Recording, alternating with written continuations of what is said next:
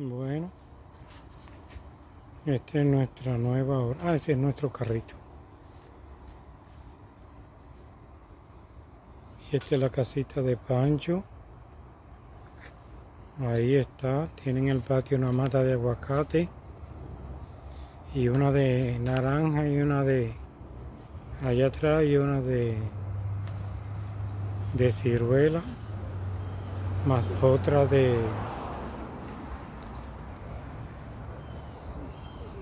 de guira ahí está ese y eso que están viendo ahí esa puerta para atrás es el nuevo vivero que estamos construyendo para que Nilda siembre sus plantas ahí.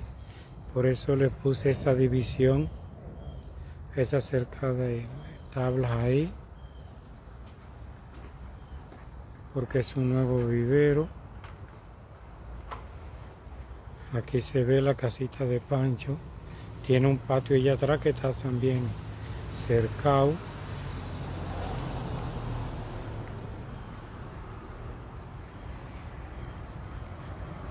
aquí la ven la casita con su camita, agua y todo lo que necesita ya. Aquí sigue el patio de la casita de Pancho. Miren, lo tiene lleno de plástico que él, con el que él juega. No le gustan los juguetes normales para perros, sino plástico vacío.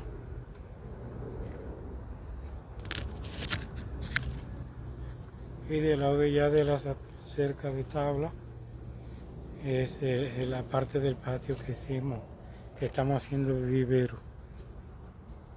Aquí ven las plantas. Ven.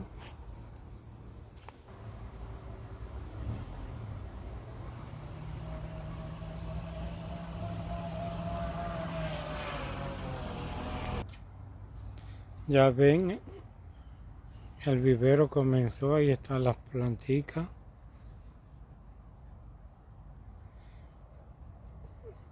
Esas son tres matas de coco que ya tienen más de seis pies, de ocho pies. Tienen mango, aguacate ciruela,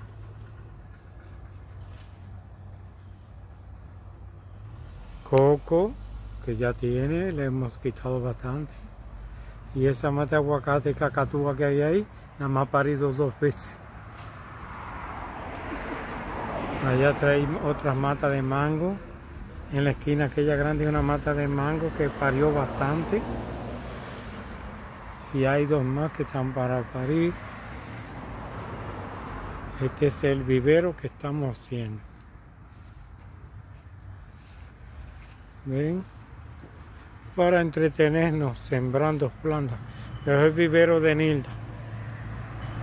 Esto es una mata de ciruela que está a la entrada del vivero. Y una, una de canistel Nilda y la otra de naranja. Que están juntas. Y esta de... Sí, un anoncillo chino.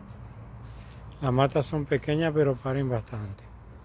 Y ahí ven la otra mata de aguacate que es la del patio de Pancho.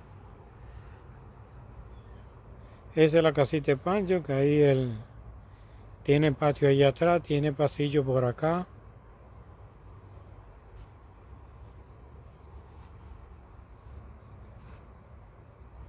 Ahí está. De ahí para allá de esa puerta es el vivero.